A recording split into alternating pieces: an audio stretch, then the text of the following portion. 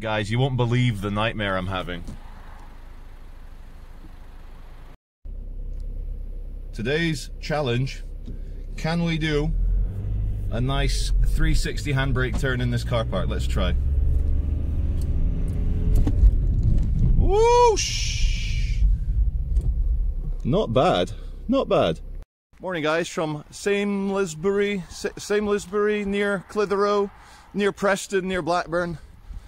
We're uh, here to take a look at Britain's biggest player in the military-industrial complex. Ooh, the little Toyota was certainly breaking the 50 mile an hour speed limit going into BAE Systems. Ladies and gentlemen, welcome. British Aerospace Systems rebranded as BAE Systems. I'll let the big noisy things go past. BAE Systems is a publicly listed company on the London Stock Exchange.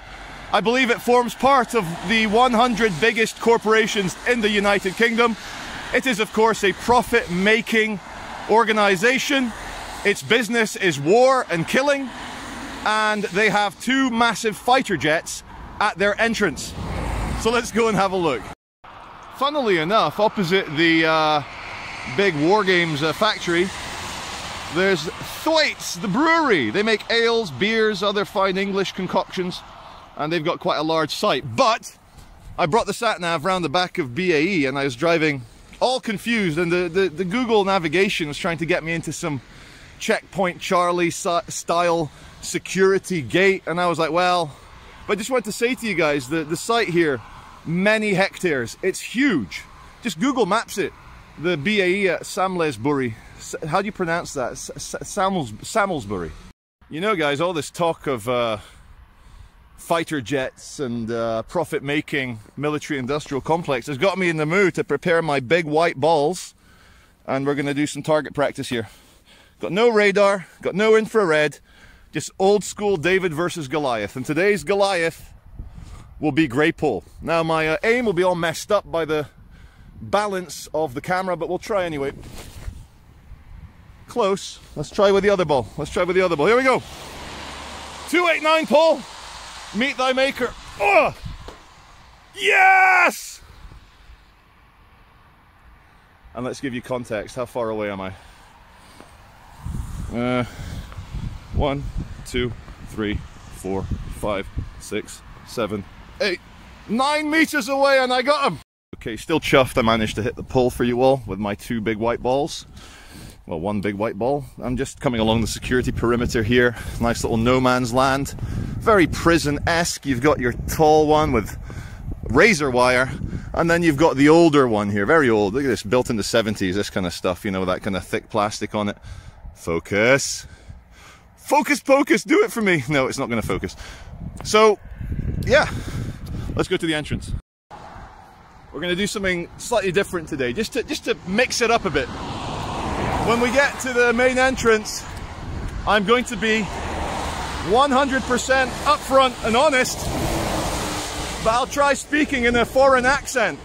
Okay, I'm stealing this idea from auditing Britain, but you gotta mix it up a bit. Molto bene! Just get my moan in, still walking along the main road. It's a very big complex, and you know, you gotta be careful when you come and film stuff like this the security, the police, the bloody control freaks, they love,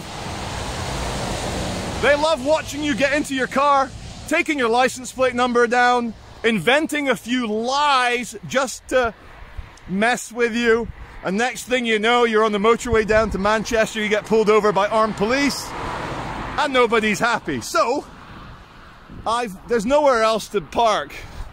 It's all military land. It's all farmland, private. So I parked two miles away to keep my car out of the picture. We've made it guys, we're outside the entrance to BAE Systems. On my left, you have the new F-35 Joint Strike Fighter.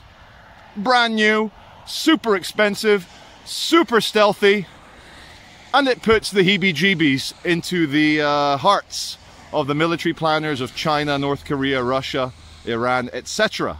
Now this one here That, ladies and gentlemen, is not a MiG-21. That is a British Electric Lightning. The first ever British fighter jet capable of travelling over twice the speed of sound.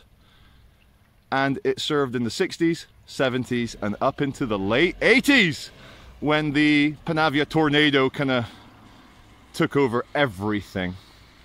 So let's get a bit closer. I very much doubt these are actual, of course they're not, they're just fiberglass models. Let's go and have a look. What lovely jets. Sorry, what lovely fiberglass shells of jets. I'm gonna pan the camera around because I've already noticed security looking at me. They must be reminded that photography, videoing from public land is not a crime. So come around slowly, we'll do a little zoom in, see if there's any issues with the man. I very much doubt there will be. He's just gonna look at me. As I, as I said outside the immigration center, I give off that YouTuber vibe. But these guys are bored. They get a chance to do a bit of the old Jason Bourne. They can do it. Ah, that's the road I walked for two miles. Okay, we're here at the front security gate of British Aerospace. I think there's a war memorial down there. I can't not read the writing. You guys are going to have to help me. Is it a war memorial? No, it's not, is it? It's a health and safety mantra memorial. Let's try and recognize those planes, guys. I think the left one's a Lancaster, then the Lightning, then the Eurofighter, and then the F-35. No love for the Tornado, but maybe the Tornado wasn't a British aerospace creation. You know, sometimes I've got to take my woolly hat off and uh, just uh, show off my balding head because I think uh, certain YouTubers wear a woolly hat and pretend they're not bald, whereas I am bald and I wear the woolly hat because it's cold. So, security fence behind me. I just want to say to all the auditors, I've been watching Focus Pocus this morning.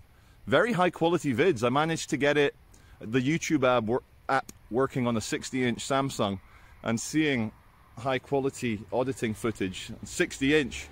Whew! Guys, we're in the golden age for auditing right now. For um, collecting photons in places that we're legally allowed to. Because it's that kind of weird point between the end of the war on terror and uh, the Great Reset. And everyone's confused. Nobody knows who the enemy is. Turns out the government's telling us that we are the enemies. We need to act as if we are infected with the bug. So you auto, you auto enemyize yourself, and uh, you go from there. Now, I don't think anyone's going to come out and bother me because I am still stood on public land. I've not made any attempt except to wave and smile at the security guard and he just looked at me like a stern Jason Bourne. Not interested, not interested. Anyway, you've got to stick around a bit longer. You're not going to watch this unless there's conflict. Okay, let's do a little panoramic swipe. Swing by, drive by, film by, move smartphone across by. A lot of fluorescent jackets around. Tennis ball colour, everyone looks like they're the ball at Wimbledon. Let's come round. It says, stand out this werter. I'm sure it meant to say winter. Stand out this werter. Caution. Icy conditions. There's my friend hiding behind the post. Hiding behind the post, not showing his face. There's that stupid memorial. There's that stupid big ball of gas burning brightly billions of miles away. Stupid Helios. Who does he think he is?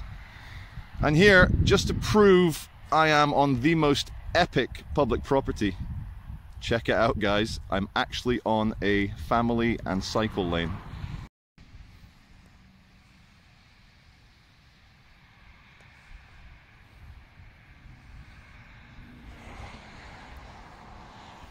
I love how they put the no smoking in at the bottom. Walking along minding my own business and this bad boy turns to face me. It turns to face me. I've raised my hand saying, what? What? Let's see if he turns even more to face me. Let's see if he turns. Yes, he's turning, he's turning. Come on, British Aerospace, you're better than this. I'm not even a Russian bot, come on. Hi everyone, so there is still a chance that the police are gonna come along. Behind me you can see the very long two mile road I've walked to uh, leave the British Aerospace site. Now, it's quite interesting when there is zero response except a man in fluorescent staring at you from his uh, cabin so, there's one of two reasons why they may do nothing. And the first one is very obviously is that they do not consider you a threat. They don't think you're scary. They don't think you're a Russian agent, Iranian agent, Chinese agent, whatever, yeah? So nothing happens. But the second one is quite interesting. The second reason why nothing happens is related to the first, but they quickly realize what you're doing. The whole photography is not a crime thing. You're baiting for a reaction, an over-the-top reaction from the security services. You're wanting some sort of drama, and they refuse to give it to you. So they're like, ah, we see what you're doing there, Mr. Charlie Veitch, and you're not getting it. Which in a way, it's exactly the same as having keys to the planet. You know, like the mayor will give you keys to the city. Well done, you're a good citizen. Once you've earned your way to the point where you can walk anywhere, right up to the gates of military complexes, big companies, banks, police stations. In a way, that is real freedom. When you don't even need to go through the conflict and the drama. Okay, we're at Mellor Brook on the A6063. We're out of here. We're almost at the car. We're about two, three streets away from the car. But I'm gonna hover for a bit because I'll show you why. Their spies and cameras are probably still following me. Where is it? See that big um, grey fence, barbed wire fence with a big installation? That's British Aerospace. So let's be careful. God damn it, I wasn't counting on the lights going red and revealing my bloody position to these bastards. I was hoping it was green so I could blast by. Now I need to stop filming so I don't look like the guy. Okay guys, we've got the cruise control and it screwed me again. Come on, go green, go green, go green. I've done another drive-by past British Aerospace to get the shot and uh, I've, for God's sake, how's it always red? I'm on the main road.